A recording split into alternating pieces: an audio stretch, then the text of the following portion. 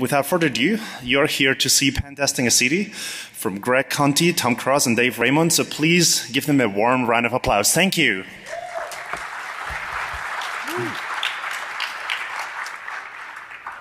And we'd like to thank uh, SimCity Godzilla as well for his help. Hi, I'm Greg Conti. This is Dave Raymond and Tom Cross. Thank you for joining us at uh, Pen Testing a City. Uh, before we get started, we're here as uh, free citizens. We don't represent anyone, any employers. Uh, we're also not lawyers. And please, if you're going to pen test anything, especially a city, please talk to your lawyer first. So, Tom? Uh, hey, I'm Tom Cross. I'm the CTO of Drawbridge Networks. Um, uh, previously worked at Lancope and uh, IBM X-Force Research. Um, done a lot of vulnerability research over the years. Uh, my name is David Raymond. I was uh, most recently um, faculty at West Point where I did cybersecurity education and research and uh, just transitioned now. I'm doing the same thing at uh, Virginia Tech. And I'm Greg Conti. I'm currently at West Point where I'm a, a faculty member and security researcher, and I'll be transitioning from the Army next summer. Okay, so cities, why are they important?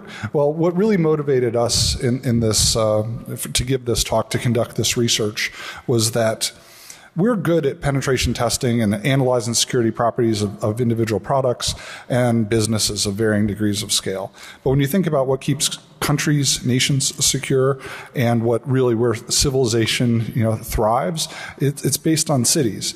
And you know, there's a big delta between securing a company and securing a city. And we want to take a look at that. And as part of that, we've had some really unique access uh, inside the, the workings of several major cities uh, and talking to some of their security professionals about their challenges. So that helped inform with real world, I think, real world insights into, into the research we were doing.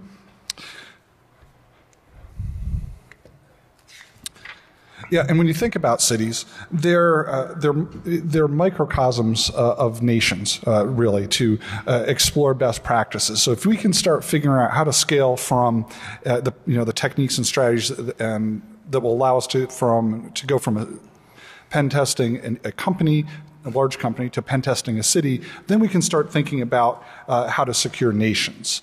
That, that was the idea. And if we can figure out th- that, those insights, then maybe perhaps they'll generalize, not just in the United States, but we can, we can figure out how then to pass this around to other cities, share the results. Well, you think about the thin veneer of civilization, right? It doesn't take much for to tip over civilization, and it's hard enough to keep things working uh, without there being an adversary. You think of two inches of snow and a bad weather call or two down in Atlanta paralyzed the city. You can think the New York City uh, blackout that caused rioting, the uh, what you know, the earthquakes, and, and, it goes on and on. Um, so, Dave, you had an example uh, for Baltimore. so, one thing we'll be talking about is is the potential for cascading failures when a failure in one infrastructure causes uh, um, cascading failures in other infrastructures. One good example is from uh, 2001 when a um, commuter train um, derailed in a train tunnel in Baltimore. And uh, of course, it caused the expected delays in commuter train traffic and in automobile traffic in the surrounding area. What also happened during that derailment was a water main uh, was broken and it caused localized flooding, which flooded power substations and caused um, power to go out for most of the city for, for about a day. Um, also, uh, um, what happened was there was a small fire associated with the uh, derailment and it uh, severed uh, fiber optic cables that really controlled uh, communication between some uh, major companies on the eastern seaboard. So it caused disruption in network communications uh, all the way from New York City down into Washington, D.C. So, so here's an example of a, of a fairly localized event that can cause um, cascading failures uh, really throughout the infrastructure sectors. And as another example, we, you know, we, we're thinking about you know, scenarios like that are happening by accident. Well, we've we've had throughout the last uh, few years, or really many years, the infosec community has done some great research and pr- uh, provided point cases on vulnerabilities in cities. Uh, and, and, one of my favorite stories, I don't know if you'd call, I'd, I'd call him a hacker, not a, a, vulnerability researcher presenting a conference, but um, a, a, teenager uh, in in 2008 developed, um, basically hacked the tram system using a, a, modified television remote control and derailed uh, a train in his uh, in his hometown in Poland uh, just uh, just as a hobby project, and that was a teenager. So we'll talk a little bit more about what the implications of like the individual, relatively small scale research that people are doing, and that what could be built upon that because it's it's hard enough to keep cities running. Tom, I mean, as you all know. Uh Chris Valasek and Charlie Miller um, successfully did a remote, uh, uh you know, full control of an automobile, and there are 1.4 million uh, automobiles, I think, that were vulnerable to that attack. And that's certainly not the only vulnerability like that. And so, if you can cause you know, that sort of cascading failure with a derailed train, you know, imagine what you could do with a well-placed sport utility vehicle.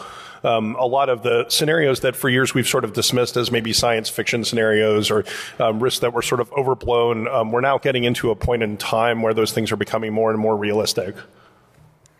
So uh, one good place for us to start is to just think about what we mean by the term city. And um, uh, turns out, um, even though we all have sort of an intuitive understanding of what a city is, it's fairly difficult to, uh, to, to, define. And uh, so we Googled it and got this um, decidedly poor uh, definition, particularly the second uh, informal version of the definition. Um, a little more digging led to some, to some pretty good attributes, uh, things that you could use to describe a city. And, and really, you know, a city is as we think of it as a, as a large town, uh, you know, municipal area. It could also be a, a, a tribal area. Um, you know, there are sort of uh, uh, different versions of what a city might be, but um, for our purposes, um, a city uh, has to, you know, for, it to be a, um, something that, that we're concerned about, it has um, large scale network infrastructure composed of probably critical infrastructure, non critical infrastructure, maybe many businesses, uh, and then some sort of a, a municipal uh, network architecture. Um, and uh, even with that, you know, fairly clear definition, um, you know, there's a, there's a broad, uh, uh, there are broad differences between cities. If you just look at population alone, cities might range from a few thousand people to tens of millions of people.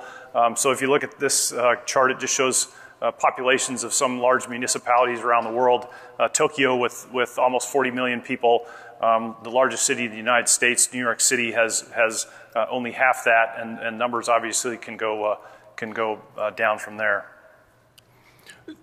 so there, there are different ways, and we're going to talk about how there are different ways of defining a city. Often cities are defined based on a particular county or administrative region. Um, uh, we also tend to think about metropolitan areas. When you think of New York City, you think of the whole place and not just, you know, it's not just the five boroughs necessarily. Um, and so uh, the United States being what it is, the best way to decide uh, how big a city is in this country is to look at the television viewing audience. Uh, and that's what marketing professionals do. Um, and they, they have these uh, metro area DMA codes um, that represent the television viewing uh, uh, population for a particular uh, metro area. Um, and actually, these DMA codes are used often in online marketing, and they're used um, in the GeoCities database to indicate the metro area that a particular IP block is in. Uh, so I took a look at uh, uh, how many IP addresses were assigned to the 10 largest um, DMA metro areas in the United States. Um, and what's interesting is that the geography of cyberspace is often different than that of the real world. I don't know why Houston has so many IPv4 addresses. Uh, if any of you do, please talk to me after the talk.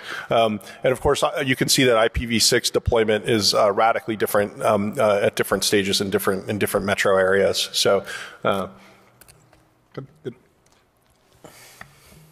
And you, see various trends. And one of the trends right now is cities, uh, particularly those that characterize themselves as smart cities or, or aspire to be smart cities, uh, employing uh, networks of sensors to help them uh, gather data, analyze the data, and, and uh, provide better services uh, for their people. And also, for example, provide more energy efficiency. Uh, with that comes, though, I think as everyone in the room would recognize, that when you bring on uh, additional technologies, uh, that really increases the attack surface. And you can see as well that industry is aware of the opportunity in smart cities and uh, and just cities of all types. I mean, I, I tend to think of cities as there's dumb cities, there's moderately intelligent cities, and there's smart cities. There's a whole spectrum there. But so their industry has recognized this, and here are just three examples uh, of uh, groups that are looking to provide products and services. Uh, here, example: uh, Cisco Smart Connected uh, Communities, IBM's Intelligent Operations Center, and recently Google's Sidewalk Labs. So it's drawing the attention uh, of industry as well. And I already mentioned dumb cities, but I wonder, I, it, would now be a good time for a question. Who has, still has a Honeywell 1950s era thermostat on their wall? Good choice. Okay. So good choice because you're probably a lot safer. Uh, does your home, is your home decorated like that? uh, okay. Okay, now moving on to like what it really means to to try and think about pen testing of something the scale that we're talking about. Well, we began our analysis looking at, uh, and this is uh, for those of you familiar with SANS. This is SANS 560. They have a, uh, their penetration testing uh, methodology, and and it works. You know, in a in a certain scoped environment, it works, right? But how does something like this scale up, or where do you begin when you're thinking at city scale? And another uh, piece is, you know, it's not just network penetration tests. We have basic building blocks of, of traditional pen testing. You think a network penetration test, physical penetration test, a web application penetration test, or a human slash software engineer. So those are the basic basic building blocks that you uh, might have to work with. Again, how do you prioritize? How do you focus those efforts? So um, we, we decided to to start with the SANS um, framework and build upon a, a, a framework that looks at um, some of the intersections uh, th- that uh, Dave was talking about earlier in his Baltimore example. So, um, you know, tr- traditional SANS process starts with, you know, understanding the scope of the pen test and then auditing the technical surface area and then doing a risk analysis and a report for the client. Um, in our case, we start with the same place. We, we define the scope, like what is a city? We talked about the way, the fact that there are different ways of defining that scope. Um, then we audit the attack surface. Cities have unique attack surfaces that don't exist within organizations, so we're going to take you through that layer by layer. Um, and then once we've identified the point vulnerabilities in that attack surface, we really need to start looking at what the intersections are between the, those point vulnerabilities that can cause the sort of cascading failures that Dave was referring to. Um, and we look specifically for pressure points that you can push on that can cause those dominoes to start falling. Um, and then on top of that, you can then build your risk analysis. You can assess um, what threat actors are interested in pushing those buttons. And that gives you a more sort of comprehensive understanding of what the risks are to a, uh, to a complex system like a city. Um, so, you know, the first step here is that we're going to dissect the, the surface area of the city and, and talk about those different surface areas, and then we'll go through the cross-sectioning, pressure point, and risk analysis. So, and, and, we have to understand that cities themselves, it's not just the local, it's, it's just not the local government. The local government is ri- uh, riding herd over a loose coalition of the willing and unwilling uh, to uh, to try and make the city function. Uh, here's an example from San Francisco. So you have the the local government, but they've got 200,000 commercial entities, thousands of nonprofits, and a population of uh, 837,000 plus or minus. So that I mean that's the complexity that you're looking at, uh, and and it's uh, an important aspect is it's not just not the the government itself. You have to think about all the interdependencies, all the interconnections between these disparate groups, and then just a quick look at what if you want to think about uh, protecting a nation in the United States using statistics uh, that from there uh, there's 39,000 cities uh, 1.5 million nonprofits, 27 million small businesses, and uh, then you get into hundreds of millions of smartphones, personal computers, and people, and potentially billions uh, uh, with the emerging Internet of Things. So really, it just goes up. It's like powers that that video powers of ten. It just gets harder and harder and harder and more complex. So we have to manage that complexity. So uh, one way to look at surface area for something like a city is to analyze it in terms of the cyberspace planes. And this is a framework that we've used to analyze different cyber infrastructure in, in some of our uh, recent research over the last couple of years. So with, with the planes, at the very top you have the supervisory plane, which includes uh, people and processes that might provide command and control over uh, other uh, lower elements of cyberspace. You have the persona plane, which is um, you know, think uh, uh, um, network personas, uh, login, uh, login names, uh, email addresses, uh, even, even social media presences. below that, you have the logical plane. So you have layers two through seven of the OSI model, op operating system and application software, um, device drivers, network, um, different network protocols and packets. Below that is the physical plane, so layer one devices, routers, switches, uh, cables, etc. And then uh, the geographic plane really describes the, the, physical location of some of those network devices, which is often uh, uh relevant. So something that's different about cities uh, than, than with other uh, network infrastructures is you have this very heavy influence of, of politics really at all the planes. Um, particularly, though, we, we, see politics at play at the supervisory plane. So you, are likely to have, uh, you know, a city is going to be influenced by uh, state and federal governments applying pressure at various points uh, in the supervisory plane. Um, there are various forms of municipal government. Uh, so each city is, is uh, you know, sort of organized in its own way. Um, here we have a, a sample uh, organi organizational uh, diagram for a city. And you have this combination of elected officials and appointed officials, and, and that's going to cause tensions between uh, uh, different factions within the city government. Here, this picture shows um, a city manager uh, a council manager style of, of um, municipal government. And in this picture, the, the, uh, the police chief you know, reports through the city manager to the city council. You can imagine, though, in a city that has a particularly strong police force, for example, that uh, the police chief really may sort of own his own little fiefdom and, and, doesn't feel like he reports to anybody, even though the organizational chart you know, shows him beholden to the city manager. so again, elected officials uh, um, and appointed officials. The, the appointed officials are, are, obviously beholden to the to the elected officials who put them in place, and then you have elected officials who are um, concerned about pleasing the constituency, uh, so they continue to be elected officials. And then you can imagine these silos of, of excellence, right? So you have all these different infrastructure sectors and uh, various government uh, agencies and uh, um, uh, private entities. They all have their own network um, little silos, uh, some, some of which are, are better secured than, than others. And um, this, this uh, diagram is just sort of designed to evoke um, what those silos look like from the top down. And you have all these very, very um, uh, um, complex interdependencies between all the silos. So even if some of them are very well secured, you can imagine that others are less well secured. And then you have sort of this weakest link problem. If you take a step down a level to the persona plane, uh, you know, cities and, and, other small governments tend toward openness, right? So they want uh, um, the people to have access to the politicians. They publish a lot of information online. They have a very uh, active social media presence. They're, they're publishing uh, email addresses and information about uh, members of the city government. And all this could be a very rich source of information for a social engineering campaign.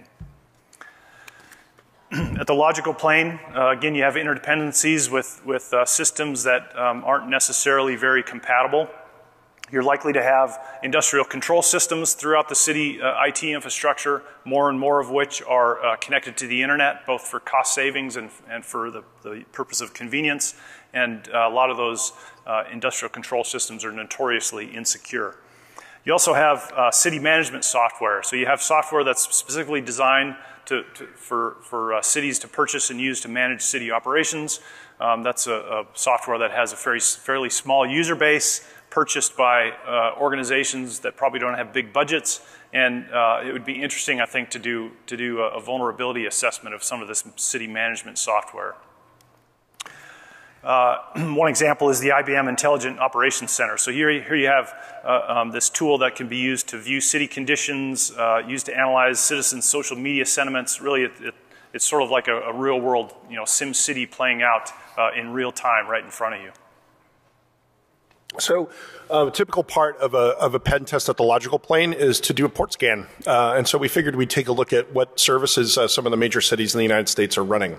Uh, most of the major cities in the United States, it turns out, have provider independent IP address spaces. Uh, and so it's pretty easy to uh, find out what the range of IPs um, that the city government is using and take a look at, at what's in those IP address spaces. Um, Sometimes uh, city governments will have a website that's just running within that IP range. Um, in other cases, um, you know, consistently we found that uh, you know there'll be some sort of if they're if they're using Akamai or some sort of hosting service for their website, that they'll have like a web app uh, behind that website that's doing something like letting people pay traffic tickets or some other bureaucratic uh, uh, city process, and the web app will be hosted on a machine that's in the in the provider independent space. Uh, so once you've got one IP in the space, you can go to the ARIN database and and get the uh, whole IP block um, and uh, you know see the entire uh, IP address range for for a given city. Oh, I have the clicker now. So um, uh, this is a chart that shows you um, the TCP/IP services that are hosted on the internet by the 10 largest, uh, uh, by the city governments of the 10 largest metro areas in the United States. Um, and uh, uh, this data came from the Shodan database. Um, we, uh, you know, so of course there's banner information and other things uh, along with that data, uh, and there's some pretty interesting stuff when you uh, when you drill into the details. Um, you know, at the low end, of course, we expect to see lots of web servers. Um, one of these cities has an IBM mainframe that's serving as an FTP server on the open internet. Um, there's lots of um, off-brand SSH daemons, and there are a number of legacy web servers. a few instances instances of IIS version 6, which either runs on Windows XP or Windows 2003, which is still supported as a server OS, I think. Uh, and then, um, uh, you know, I found a number of um, Netscape Enterprise Server version 6.0, which was released in 2001. Um, uh, moving up the chain, um, you know, we, we expect to see VPN endpoints. That's, um, you know, something we would anticipate finding. Um, but there are other things we were surprised to see, uh, like a printer, a directory server, uh, a number of databases, um, uh, some Windows PowerShell ports. Um, in the case of Washington, D.C., there were a number of services over port 10,000 that we decided not to include in this chart because it just made the chart too much of an eye chart. but those ports included some ports associated with a video conferencing system. Um, so, uh, um, you know, drilling down from the logical plane to the physical plane, um, cities have a really interesting physical plane, particularly from a wireless perspective. Um, the, uh, uh, cities have traditionally used wireless um, to communicate with uh, and to coordinate operations across a large uh, physical area. They've got, you know, police and other emergency services. They've got maintenance people, garbage trucks, et cetera. All these people communicate over wireless networks. Um, a lot of this stuff is becoming computerized uh, there are wireless emergency coordination and broadcast systems. Um, and then these smart cities initiatives are bringing a whole bunch of new technology um, online. Um, often it's either in the 2.5 gigahertz or 5.4 gigahertz um, uh, bands. Um, and uh, a lot of this stuff is, is getting deployed, um, you know, without encryption or with encryption that is very poorly architected. and so, uh, you know, there's, there's a, there's a really interesting wireless spectrum uh, analysis uh, problem associated with pen testing a city. Um, at the same time, we're kind of seeing this renaissance in terms of tools that are available to uh, people in our community uh, uh, that enable us to audit the wireless spectrum. Um, you know, I went out and spent 20 bucks and got this little USB key that enables me to do spectrum analysis up to 1.6 gigahertz using an app on my Android phone. Um, so that's really awesome. Um, and in fact, there's there's a whole lot of people playing with this at DEF CON in the in the wireless village. Um, uh, so you know, there's sort of this renaissance happening where, on the one hand, we're seeing all this smart city infrastructure get deployed with all these wireless protocols that are interesting, um, and we as a community are getting a bunch of new tools that enable us to investigate and research and hack that stuff. So um, uh, you know, I think there's going to be lots of interesting developments over time in this area.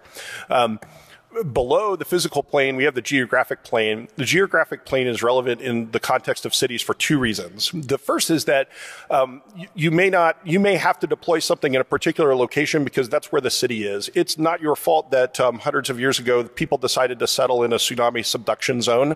That happens to be where you are, and you're going to have your computers there, even though um, you would rather put them up in the hills where they're safer. Uh, so that's a that's a challenge that cities have to contend with. Um, the second issue is that you, when you think about testing a corporation, usually they have like property that you can't trespass on and all of their infrastructure is inside that property. So from the outside, you have some physical access challenges, but we live inside of cities and we have to be allowed into them. And the infrastructure is kind of built up around us in a city. Um, and that means that we can get physical access to it in ways that, that sometimes we can't um, when we're looking at a, uh, um, a, you know, sort of a corporate infrastructure. And so that's relevant and it leads to um, uh, threat models and attacks that, that don't necessarily exist for, for most organizations. Um, So, with respect to the sort of point vulnerabilities that exist in these systems, there's been a ton of research that's been presented on this stage um, and at DEF CON over the years and at other HackerCons um, uh, that, that demonstrate point vulnerabilities in systems that are popular in cities. Um, uh, you know, a couple prominent examples, uh, Cesar um, excellent research last year uh, on um, uh, hacking uh, traffic lights. So there are these traffic lights that um, communicate with vehicle sensors over a wireless protocol that has no encryption and so you can spoof the messages and turn the lights on and off. He's also uh, looked at start, smart street lamps. Um, there, uh, there have been uh, there was a talk on um, uh, uh, you know bad in, uh, wireless encryption for municipal surveillance systems, so that you can get access to cameras or you know turn on the, the these things have speakers that allow you to talk to people so you can you can talk to people who are around the cameras. Uh, the um, there was a really good talk uh, at Black Hat Europe a couple years ago where these guys got a smart meter off their house um, and uh, um, it used a wireless mesh network to communicate, and it was uh, the, the, encryption was done with a fixed AES key that was stored in the EEPROM, and so they were able to get the the you know dump the EEPROM and get the AES key out, and using that key they could send messages to everyone's house, turning the power off. Uh, so there's there's tons of vulnerabilities that have been uh, have been uh, uh you know discussed at these conferences over the years that uh, you're going to find when you audit real cities, and increasingly as as some of this new technology gets deployed. Um, so once you've once you've looked at the surface area and you understand the point vulnerabilities, uh, we got to get to the next step, which um, you know is I think unique to these really complicated infrastructures, where we need to consider the intersections between all of those vulnerable components and try to figure out where uh, uh, you know we could have a problem with uh, with a domino effect.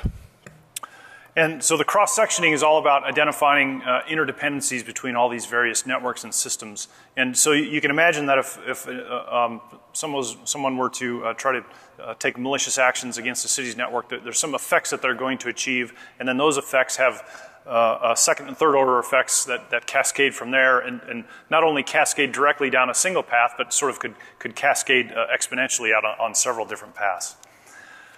Fortunately, there is a, there is a fairly uh, um, strong body of work on interdependency modeling, at least for critical infrastructure sectors. So um, here's an example of, of um, some of that work, and this image shows uh, uh, an analysis of interdependency, uh, interdependencies between a handful of infrastructure sectors. So here you have uh, uh, individual planes that represent infrastructure sectors then parallel lines represent subsets of the infrastructure. Nodes represent key components. And then the dotted lines show some of the interdependencies.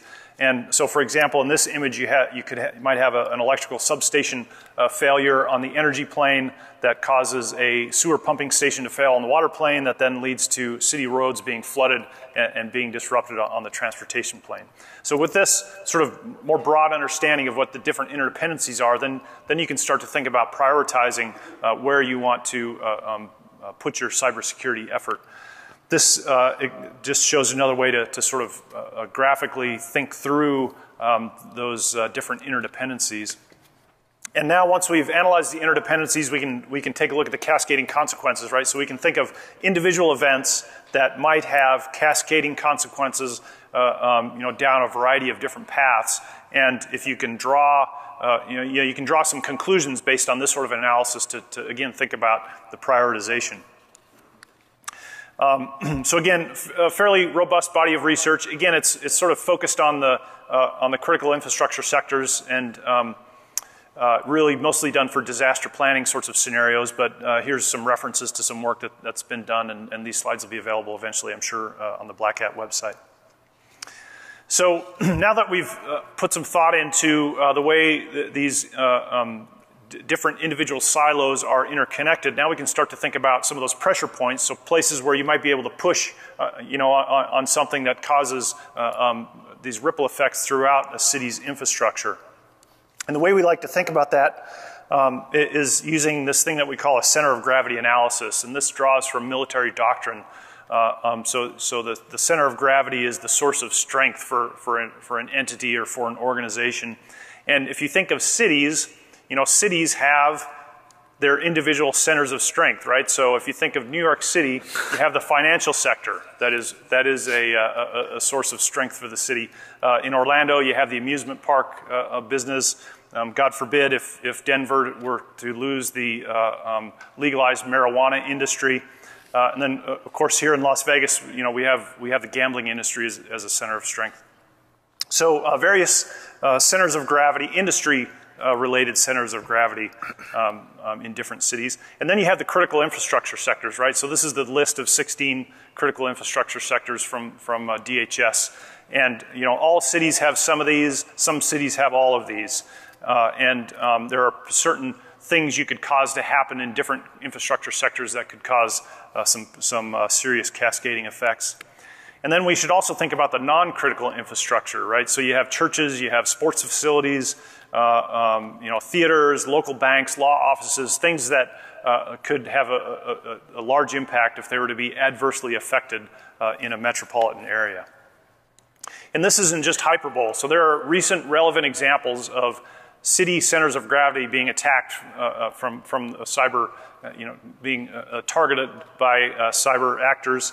And here just a list of a few. So you have the Sony hack, you have the Sands Casino hack last year, Saudi Aramco, uh, NASDAQ in, in 2010.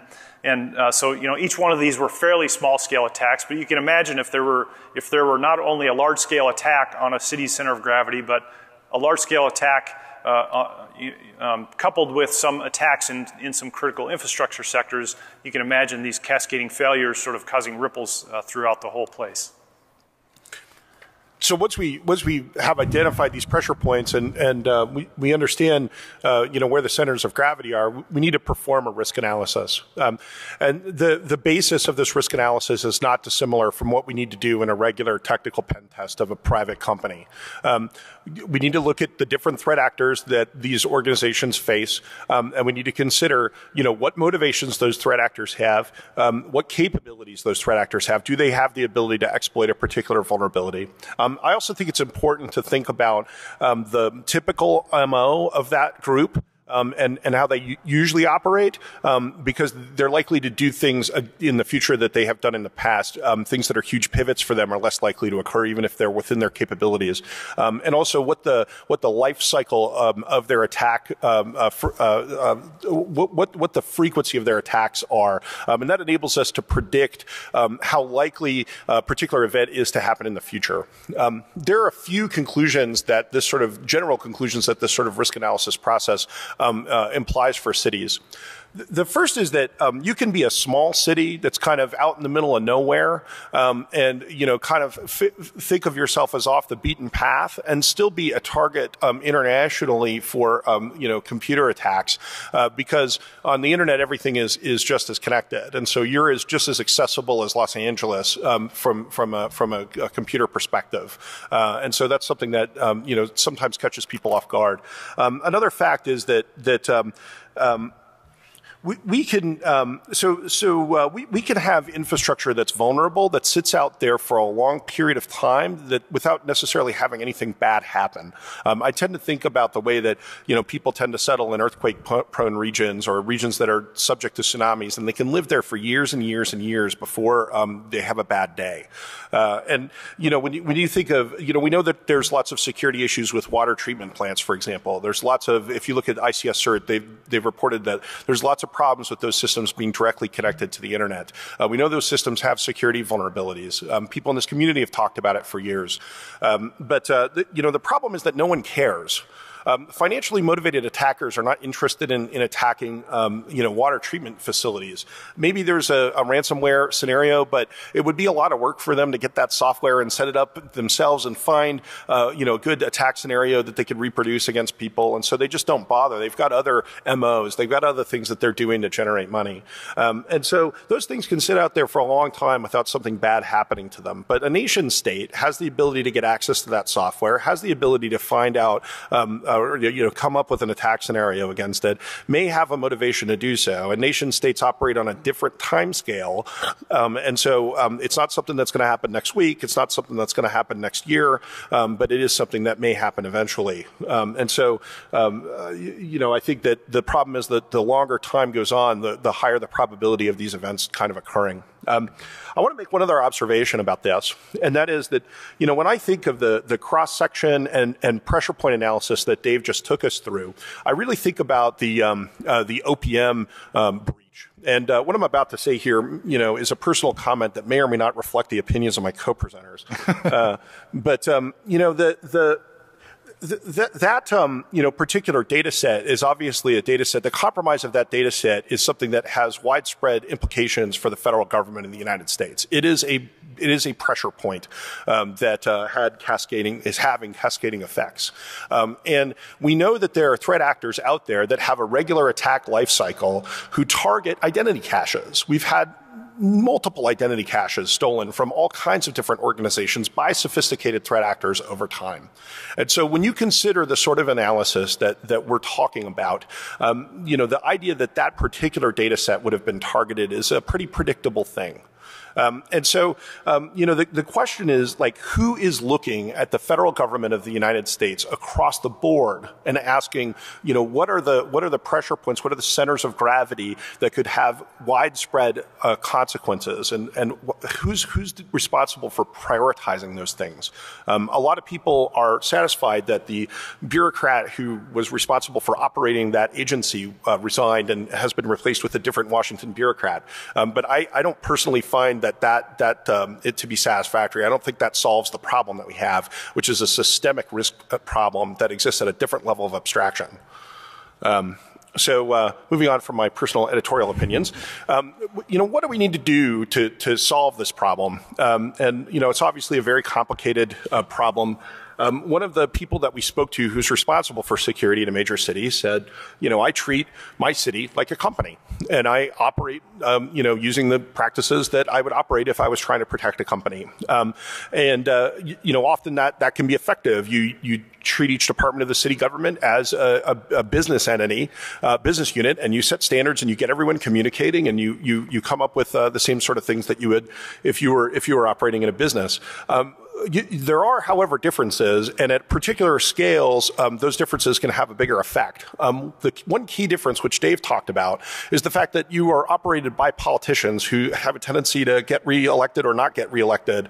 And so, when you get a new politician, um, you know they they may have different priorities. They may have a different understanding of the significance of computer security as a priority, uh, and so that can cause budgets to shift. That can cause the architecture to change underneath you in a way that that is probably less predictable than you would find in a, in a company.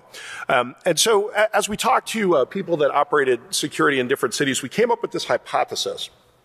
And that is that there might be a sweet spot where, um, you know, if you're too small and you're too remote, chances are you have a lot of difficulty um, recruiting and training people that know things about computer security you probably have difficulty coming up with a budget for working on computer security.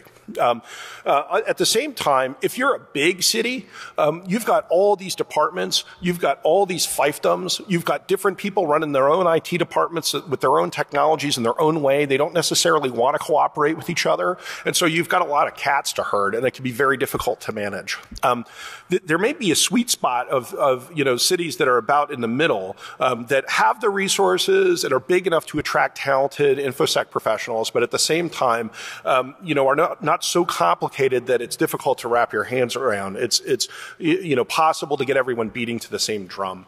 Um, and, and the implication of this hypothesis is that cities of different sizes need different things. Uh, cities that are remote, um, uh, you know, may still be targets of attacks over the internet, and they need technical help. They don't know what to do, and they don't have people who can do it. Um, on the other side of the spectrum, major cities, um, you know, may need better leadership. They need leadership that understands that this is a priority and have the political influence to get everybody um, in all these different departments working together and communicating together. Um, so one of the things that we think, um, you know, needs to be developed is a capability maturity model for cities from a security standpoint that talks about, um, you know, how well coordinated and how prepared cities are to deal with security incidents, uh, how well incident response teams in different uh, parts of the city communicate with each other, um, uh, you know, how, how, how, how uh, you know, good that city is at just protecting and locking down the infrastructure that it has. Uh, we think there's probably a good conference talk in this capability maturity model if someone's interested in developing it. Um, you know, another thing that's happening out there, which we think is really interesting, is the Securing Smart Cities Initiative. Um, there's a number of companies, and folks here at this conference, uh, who are really interested in the risks that are posed by some of this smart cities technology that's getting deployed out there. Uh, they would like to see more work done on on, uh, on protecting that, uh, and they're trying to raise awareness. Um, there's some really good research papers up on their website, um, and uh, we definitely think it's worth checking out. Uh, um, one of the thoughts that we had as we looked at this problem, particularly the smart city problem is that there's a need for broadband war driving. Um, we've been war driving the 802.11 spectrum for 15 years or something, um, but uh, um, you know that's just a little piece of the picture. We really need to be able to see, and in order for cities to protect themselves, they need to be able to see the entire spectrum. And when you're talking about these uh, um, these uh, you know Zigbee transmitters, they're pretty low power, and so it's very difficult to identify low power transmitters over a big physical area. Uh, so we need new strategies. Um, one strategy is is, is the possibility of crowdsourcing this data. I can get um, a device for 20 bucks that lets me do spectrum analysis. So um, if lots of us have them, then we can start posting things to a database somewhere. And there actually is a pretty interesting project I learned about uh, yesterday that where people are uh, beginning to do Zigbee war driving and posting it on a database online. Um, you know, another another idea, if the city wanted to take things into their own hands, that I had is is you could you could put um, spectrum analysis equipment inside of police cars because police cars drive everywhere, and so eventually you'll collect data about all of the transmitters that are, um, you know, in your municipality. Now, this idea might be a little controversial to have a, a, spectrum analysis device inside of a police car that's collecting data about transmitters. Um, there could be some sensitive uh, information and unique uh, MAC addresses and things like that associated with private citizens, and perhaps that data would end up getting used for law enforcement purposes. And so um, there's probably an interesting dialogue there about like, is that idea dangerous? Is it a good idea? What should we be doing? Um, and uh, and so um, I you know I think that this is an area where there's a need for for new tools um, and uh, and and um, you know some, some new projects. I, I think that you know the UI on my app um, is designed for listening to the radio. It's not really designed for spectrum analysis. I'd love to see some more apps that support these uh, uh, these uh, these these software-defined radios that are really designed for this kind of work. So um, I think there's a lot of really cool projects and a lot of opportunities for some cool hacking to do in this in this area. Another strategy is the use of simulation exercises. I mean, there are homeland defense type exercises that go on now, but I'm thinking about continuing that and refining that and focusing on information security in particular. Uh, and I particularly like the idea of combining it with some physical or uh, physical manifest, manifestation of the of the results. So uh, when you have these uh, exercises, and they can be lightweight, they can be something like a communications exercise. It just tells people who to call in certain circumstances, and they practice those, all the way down to, to very deep dive uh, exercises, perhaps from the packet level up. Uh, I, I, like the idea of a, physical manifestation. You may be familiar with uh, uh, SANS' Cyber City project that uh, that has underlying critical infrastructure and allows uh, people to do exercises on the on the underlying critical infrastructure sector, but you get real world responses uh, from the the miniaturized city. I can envision a day you know where a city could have like a, a small version of itself that they would use to to conduct these exercises. Uh, another would be the efforts out at the Michigan Cyber Range, and and then the, if there's an opportunity to come up with a virtualized solution uh, that would allow people to to do uh, this uh, this these type of exercises in a very scalable uh, scalable way. Uh, and given the political, really the, the political motivations required to affect change, uh, the, the, work of the information security community to raise public awareness and, and gain media attention that gets then voters concerned uh, is, I, I, think, a necessary aspect of, of helping secure cities. Uh, would also point to Estonia. When you think about Estonia, Estonia is smaller. The Estonia, the nation, is smaller than many uh, United States cities, but it takes it, you know, they've learned their lessons uh, from uh, their um, really the, the major attack that they suffered. So they've got, uh, they're, they're building in uh, information security into the backbone of what they do. Right, it's not an afterthought. And there's a nice article on their model for e-government uh, in the Communications of the ACM June 2015 edition. So if it's something uh, that you're interested in, and that I'd, I'd recommend that to we had to put that in there. Okay. And uh, with that, I think uh, any parting comments? Yeah, let's now. Okay, we'll take, uh, take some questions. Thanks.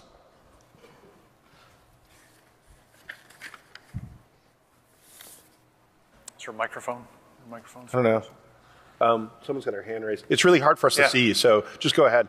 Yeah, so when you first started the presentation, it seemed like it was uh, something you've actually embarked on. And it kind of seemed like it was more of a theoretical idea. Is it something the commission started looking at in depth? That maybe been commissioned by a city, perhaps, to start looking at their infrastructure? Or is this theoretical? So what we've done is uh, we, we, we're really not at liberty to discuss this, the specific cities. It's kind of a standard practice, right?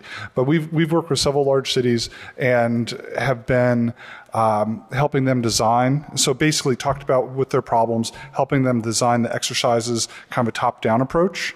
And then Tom, uh, and then Tom's taken a, uh, a bottom-up approach uh, to to gather information. But do you want to go? Yeah, I mean, well, so, uh, I, I think that that um, um, let, us put it this way: different cities are at different levels of sophistication with respect to this. We did a couple of the cities that we were talking to were trying to look at like doing across the board pen testing, um, uh, or they had just begun to do so. Um, and so, like, really, what we're trying to do is provide a framework for people to organize that work and to think about what they need to do. So I, I guess I might be the next to ask a question. Um, just kind of a brief one, and I, I don't want this to come across the wrong way, but with the idea of, you know, out of uh, EMS, um, telecom, trash collection, especially trash collection because they drive everywhere. Out of all the different entities within a city that drive all over the place, you selected police. Man, what's wrong with you? We did have this internal discussion. Tom, would you like to field, field that question? Uh, you know, I don't know. It, it's what occurred to me. I, I like garbage trucks. Garbage trucks is a good. That, they go that's what came to my mind. Too. I, garbage trucks are not always municipal. Some people have private garbage collection. That's a good point. I don't know, left whatever. Yeah, I, I think that there are interesting, controversial questions that that, that raises, and I- I, I think it's an interesting discussion, which uh, I'd be happy to have over beer uh, once this is uh, once this is over. if you're buying.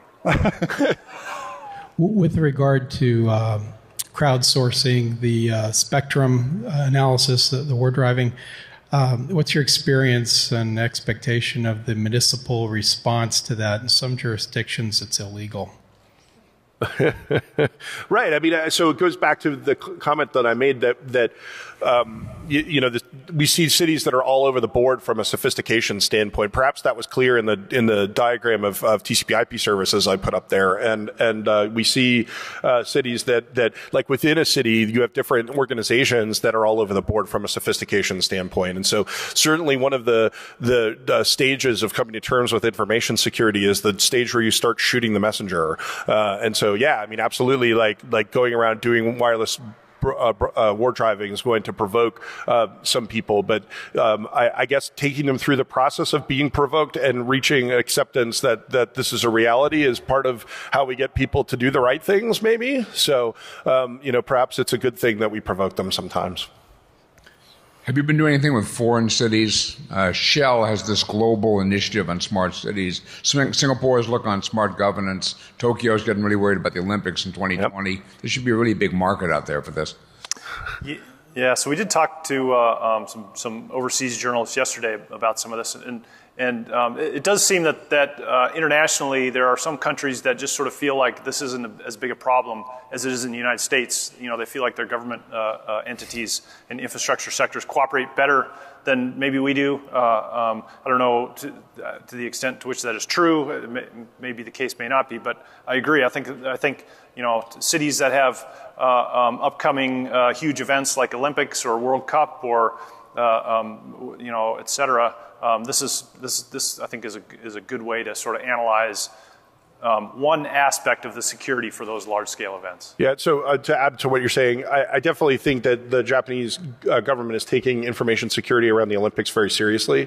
Um, uh, it, it, seems to be that there are a bunch of initiatives that they've launched uh, around that and around incident response and the like. Um, uh, and also, you know, for, to further your point, um, the smart cities initiatives um, are really seem to be taking off in Europe, where people seem to be a little bit more concerned with energy conservation than they are in the United States. Um, and so, um, you know, a lot of that infrastructure is getting deployed over there, and a lot of the vulnerabilities are are, are propping up over there. So, um, you're probably going to see some of those things unfold there before you see them unfold here. So, just one other thing uh, in terms of the uh, pushback in terms of monitoring. Why is the spectrum monitoring more, say, um, of a touch point than Google driving around doing its mapping. Well, I mean, it's the same thing, right? Because they were war driving as, as they mapped, and they got in trouble because I guess they were collecting clear text uh, um, uh, Wi-Fi packets, and so ar- arguably they were wiretapping, um, you know, and so. Uh, um, uh, clearly, like if you're going to do that, then you need you need to avoid collecting content. Um, but you know, knowing that the transmitter is there and knowing what kind of transmitter it is, um, you know, is not content information. But these are the kinds of things that need to be sussed out in order to run an operation like this. And obviously, Google is a very savvy company when it comes to uh, you know uh, technology, and uh, they ran afoul of this. So it's obviously um, to a minefield to a certain extent, um, and people need to understand the issues when they proceed with it. It's, and that's basically the reason that I'm saying it needs to be a discussion. So uh, I'd also add the, the, idea of a business opportunity. Uh, that, I mean, I do sense that there's there's a market if you if for organizations or penetration testers to think the next level of scale. Now, I don't know how much budget, how much money cities have to actually hire penetration testing firms, but I think cities are increasingly becoming interested. So it looks like we're out of time, and uh, there uh, I see a black uh, black and white zero being held up at us. so we'll we'll go ahead and uh, end here, and we're happy to. You know, Thank you very much for coming to our Thank talk. you very awesome. much. Thanks.